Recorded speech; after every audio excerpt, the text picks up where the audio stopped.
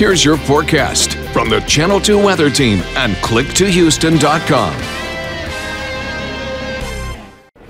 Hi everyone, it's meteorologist Justin Stapleton. It's going to be cold for your Sunday night. We've got just a little bit of rain showers out there. Notice that we're getting a little bit of changeover just south of Bryan College Station up near Crockett. A little bit of light sleet mixing in with that as the temperatures there sitting in the low 30s. It is cold out there. 37 in Conroe, 38 in Katy, low 40s and even mid 40s as you get down to the coast. The winds straight out of the north and northwest. And so that's going to keep our futurecast temperatures sitting in the upper 30s to mid 30s 30s as we get to tomorrow morning. Watch what happens. We'll likely sit, I'd say, low 30s by the time we get to tomorrow morning. Even some upper 20s out of not out of the question. Livingston, Cleveland, down to Conroe and out to Brenham, Huntsville. Y'all could be anywhere from around 28 to 29 degrees, mid 30s to upper 30s as you get towards downtown. So a cold day for tomorrow morning to start. We'll be back up into the mid 50s.